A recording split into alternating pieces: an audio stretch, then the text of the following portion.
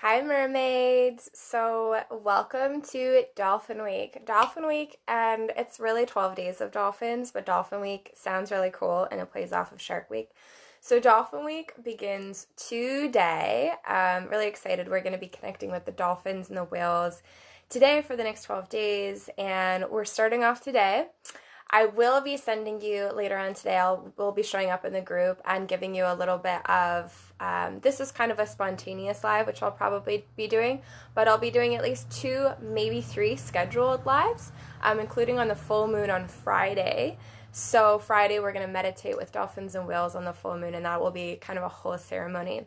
Today, I wanted to kick off and welcome everybody, and I wanted to welcome the spirits of the dolphins and the whales into this temple space, online temple space, Sisterhood of the Mermaid Moon. So, if you're alive or if you're on replay, if you would like to, just go ahead and feel or visualize dolphins and whales pouring into your energy field pouring into our group, Sisterhood of the Mermaid Moon. However, you see them coming is perfect. And what we're going to be doing today as we start off is I'm going to be sharing um, some messages that were coming through from the dolphins and the whales on my meditation pillow this morning. So let's get right into it. And this does relate to the climate of the world right now, everything that we've been processing internally. So the dolphins and the whales are going to meet us right where we are. Um, and help us to find more joy. So, welcome if you're joining live. If you're joining live, let me know. If you're joining on replay, let me know. Give me a dolphin emoji or a comment. I'd love to see you. Okay, so yeah, I'm on my meditation pillow this morning, I so I personally like probably most of you have really been feeling the collective energy, um, the the the very like passionate um, discussions and everything that's happening in the world and seeing people hurting and all of this.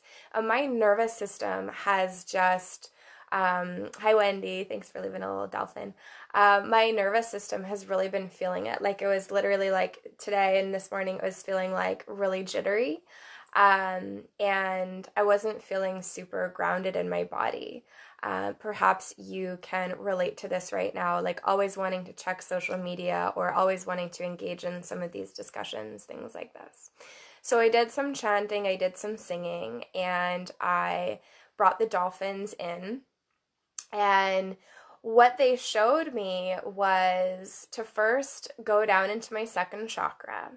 So I started just meditating with the energy of my second chakra. I've been doing this lately. It's actually a very powerful experience. We'll likely do it on this session today. So I just went down into my second chakra. I didn't really add light. I didn't try to like whirl it this way, whirl it that way, bring in this, bring in that. I just sat with the energy of my second chakra and it was feeling really uncomfortable. And what the dolphins showed me, and also my higher self, uh, was the shame that was inside of my second chakra. So, shame as a vibration tends to live in our second chakras. And for many of us, especially those of us who are white right now, we are going to be experiencing a heightened sense of shame. And this isn't just shame from the current global events, shame of being white and things like this. That's inevitably going to be feelings that we're going to be dealing with. So that's okay. But this is also everything in the world, also right now, is just highlighting shame in general that we hold in our bodies. So it might be about current global events or it might be a lot deeper. It might be coming from past lives, etc.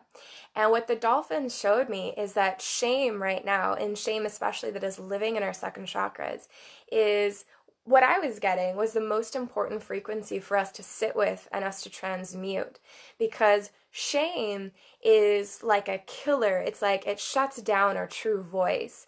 It shuts down our ability to respond with groundedness and compassion.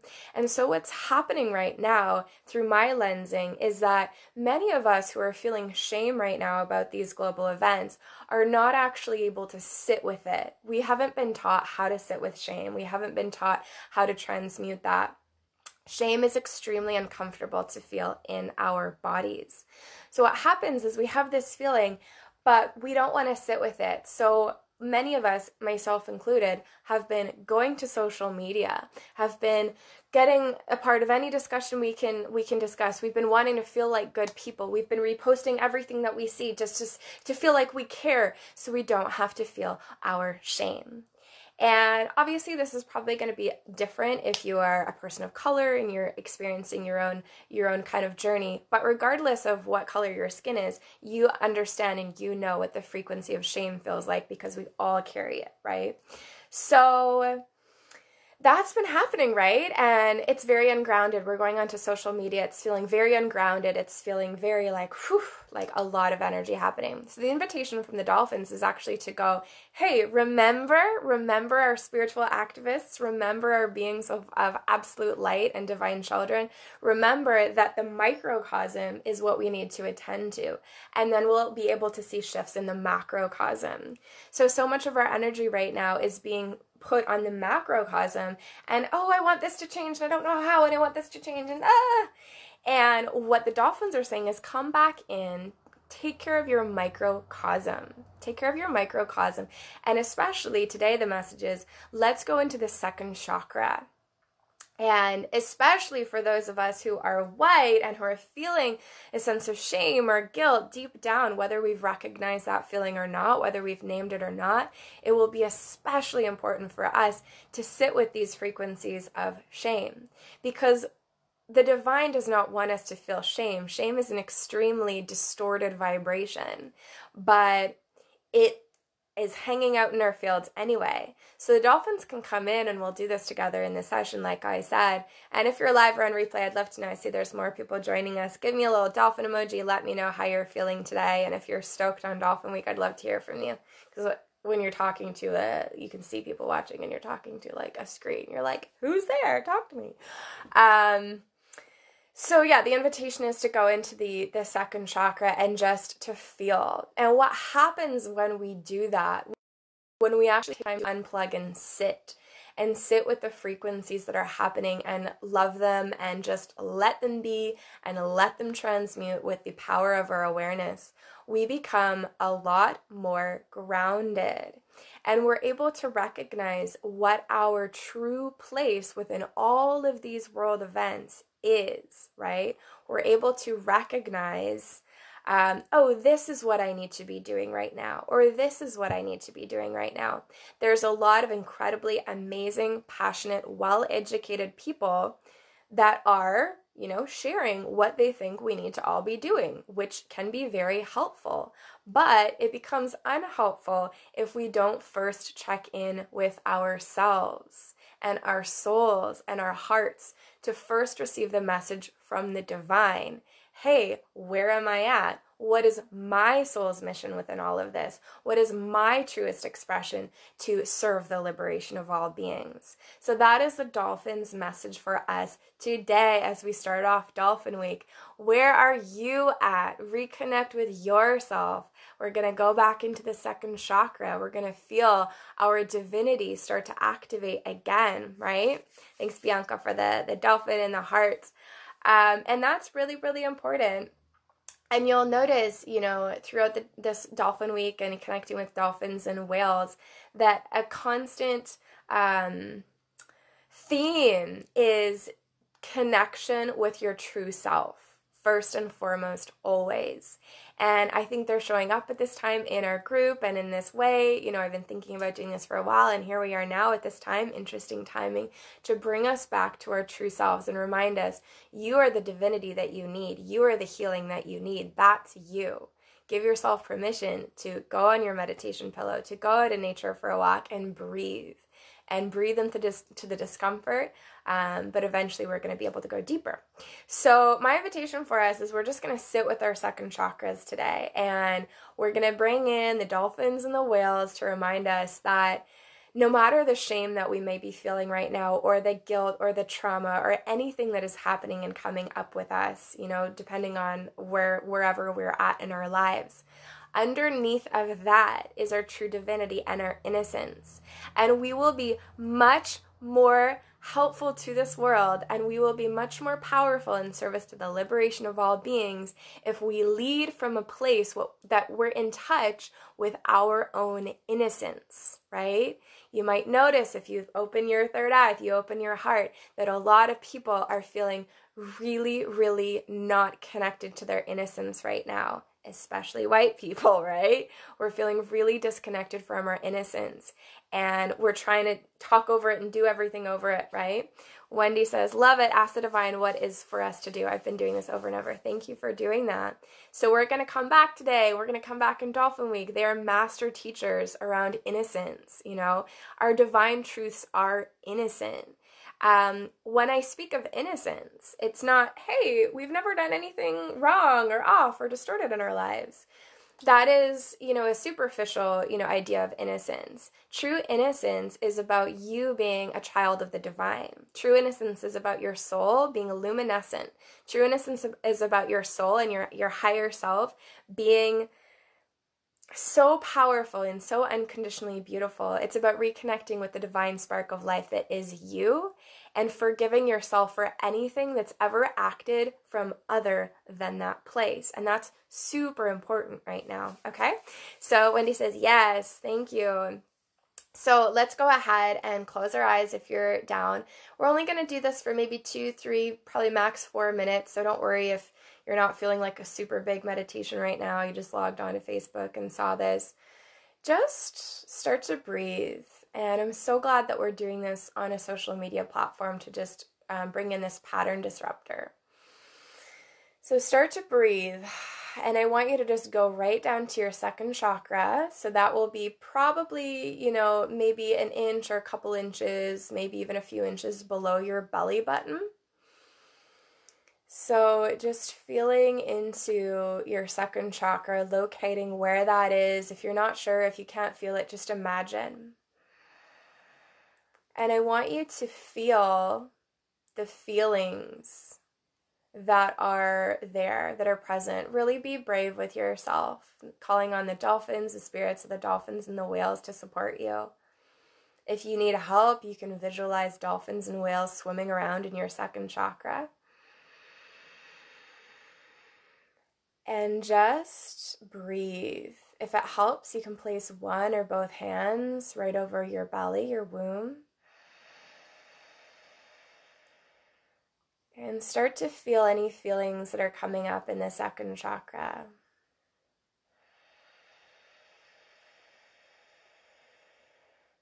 Just breathe. Bring your awareness constantly back to the second chakra. And if it's uncomfortable, honor the discomfort and hang out with it. If it feels great, honor that feeling. If it feels intense or numb, all we're doing right now is we're just feeling. We're saying, hello, second chakra. Second chakra associated right with water, the womb, the mother. So, of course, also with dolphins and whales. And as we focus on the second chakra, you might feel like, well, what is this doing? I just feel uncomfortable. So, shouldn't I breathe in light or shouldn't I make a magic spell to shift it? Nope, not right now. We're just using breath. We're just breathing into it. Breathe into everything that you feel.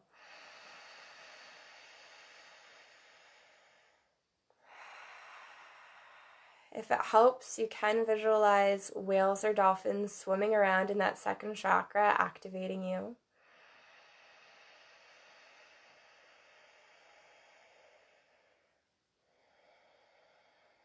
And just go as deep as you're ready to go right now. And this is just helping to anchor us into our bodies and giving those feelings a much needed space of honor. So, if you're just joining us live, we're just breathing into our second chakras. That's all we're doing. If it helps, you can also just notice the orange color of the second chakra. You can visualize it, you can visualize it spinning.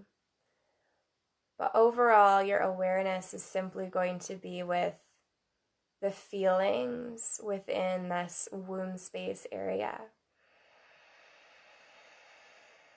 And to accept all that you're feeling, to allow it.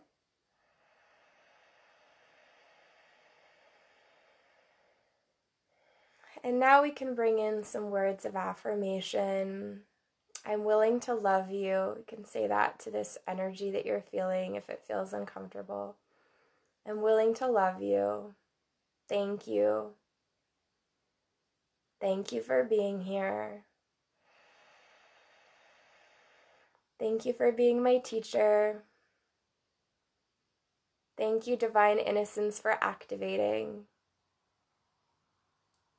Thank you, whales and dolphins, for activating my second chakra now.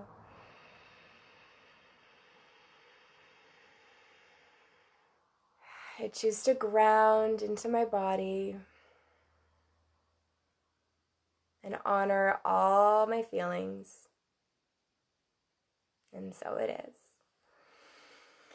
Great. And you can open your eyes whenever you're ready. Thank you so much for doing that with me. Um, if you feel like you want to share um, anything about that, please do. Um, the longer that you do this, and I would definitely encourage you to do this outside of this space so you're alone, and you might even want to put some whale and dolphin sounds on. I'll be sharing some whale and dolphin sounds today and throughout the course of the next 12 days that are free on YouTube. You can just put those on and you can just meditate with your second chakra and feel. And this has a profound effect on your nervous system, on your level of grounding, on your ability to be grounded in your body and it will really help you to create this kind of force field of beautiful light and energy um, that will help you to stay grounded in these times. So remember that the dolphins and the whales message is you are innocent, pure, divine sparks of light. And in order to be effective leaders in this global climate, in order to be really effective, powerful beings of change and light and transmutation, you're gonna need to be in touch with your divine innocence. Even if you feel it's not necessarily what is actually happening, but even if you feel like the collective is saying you need to feel shameful, you need to feel guilty, um, you know, you're bad or you're wrong, you know, we're I think a lot of us are feeling like that right now.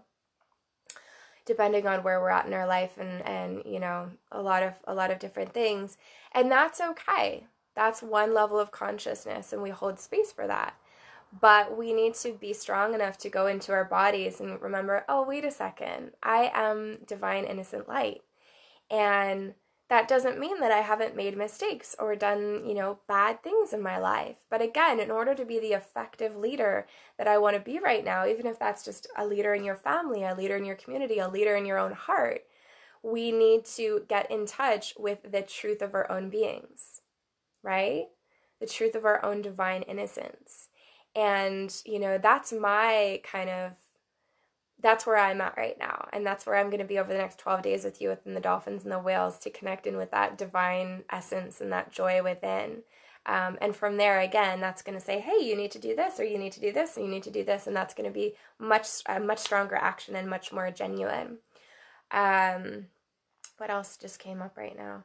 I don't know. Maybe it'll come back later in another another session. Okay, so yeah, uh, bring in the dolphins and the whales if you feel like that would really support you. Wendy says, yes, truth, yeah. And, um, oh, what was that thought that just came up? Hang on, let me see if I can get it. It was like divine innocence. We are divine innocence. Um, I don't know. But yeah, my encouragement would be to work on that. So much love. Thank you so much. And we will have lots of different content with Dolphin We Keep a lookout for another post today in this group with a little bit of a, a schedule on how things will flow. Uh, many blessings, much love, and may you know yourself as love and may you really honor whatever your soul is telling you right now. Because that is, oh, I remember what I was going to say. Okay, this is actually important. Sorry. um, so, as a spiritual activist, let's call myself, right, which I know many of you are, right? Um, what I'm curious about is when I see things like this, I go, but what is the real root? You know, on one level, someone who is a, um, a different sort of activist, which is very, very important, is. Um, sorry, someone's messaging me right now, is okay, well the the root is uh, you know, systemic injustice, oppression, which is like, yeah, yeah, yeah, yeah, yeah, for sure. But what I what I do as a spiritual activist is I go even deeper. Um, in my opinion, right? Maybe some people that's 100% their truths and it's it's perfect. I'm not taking away from that. But I go, but what's the root of that? right? What's the root of that? And I think the root of that is disconnection from the heart and disconnection from the divine, disconnection from God. Um, and that's where I'm choosing to put my activism right now. That is where I'm choosing. I'm a spiritual where I'm choosing, you know, does that mean that I'm not, you know, engaging with multiple levels of reality? Does that mean that I'm not, you know, engaging with anti racism work? No, not at all. There's multiple levels that we can work on.